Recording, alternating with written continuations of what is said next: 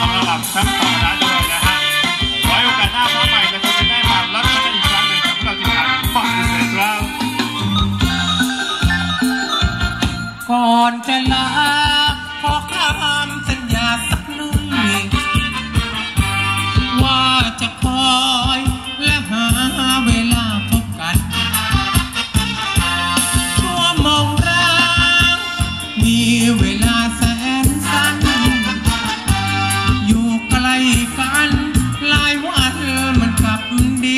ยวเดียว